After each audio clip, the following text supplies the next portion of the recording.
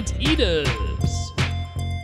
Uh, anteaters. If you've got some ants in your house, you know what you've got to do. Don't bother with the insect poison.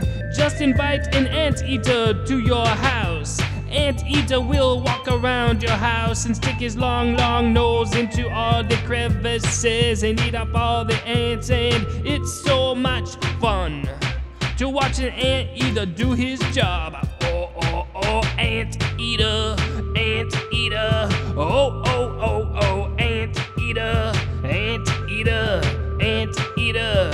Whoa, whoa, whoa, whoa, anteater. Anteaters come on over your house and they eat all the ants that are in your way. I love to watch ant eaters eat. Ant eaters do such good work. Ant eaters eat all the ants and little bugs, little bugs. Oh, you don't need an exterminator, you just need an anteater.